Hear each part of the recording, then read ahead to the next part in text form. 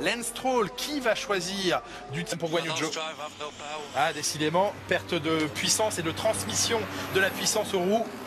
Ah, c'est l'horreur quand vous, arrivez, dans la qualif, vous êtes prêt, vous êtes préparé. On passe quand même pas mal de temps en, en amont de cette qualification, que ce soit sur les réflexes, que ce soit sur la concentration, que ce soit bien sûr aussi sur la préparation, parce que pas facile de conduire une F1 comme ça au milieu des murs, sous la pluie.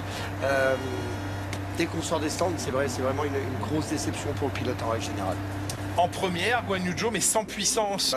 Eh ben, un petit drapeau rouge, les gars. Ah, on va pas être loin d'avoir un drapeau rouge là, sûr. On va sans doute, euh, certains vont essayer d'aller jusqu'au bout de leur premier effort. C'est le cas de Fernando Alonso. Bah, le Mais- deuxième dilemme, il est que s'il repleut derrière, bon, on est- c'est compliqué.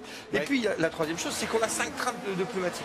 Sur ces cinq trains, derrière, il peut sécher. C'est ce que la météo dit. Deuxième et troisième qualif, on va sur du séchant. Alors, est-ce que ça vaut le coup vraiment de prendre le risque d'attendre pour ne pas passer la Q1 Euh, Moi, perso, j'irais j'irais en réglage sec. Je mettrais des, des inters et On revoit la sortie des stands du pilote chinois qui... Ah oui, tout de suite il y a eu un bruit. Euh, Le souci a commencé euh, avant même quasiment la sortie des stands.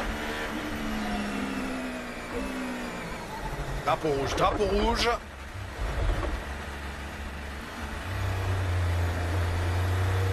Le pauvre, le souci l'a- s'est emparé de sa monoplace immédiatement.